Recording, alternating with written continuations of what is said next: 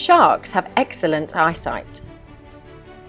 All sharks need to protect their eyes when biting prey. So how do they do this? Well, it really depends on the species of shark.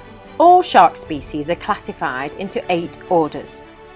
Like humans have an eyelid, all sharks, except for one of these orders, have something called a nictitating membrane to protect their eyes.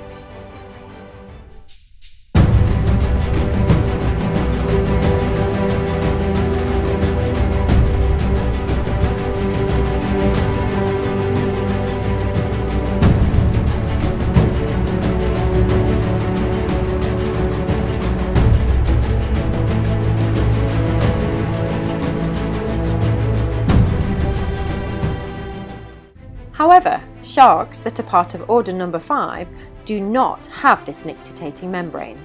This order of sharks are commonly known as mackerel sharks. Scientifically, they are called lamniforms. Lamniform order of sharks includes the great white shark, mako sharks, sand tigers, goblin sharks, and thresher sharks. Instead of using a nictitating membrane, these sharks have to roll their eyes backward into their heads to protect them.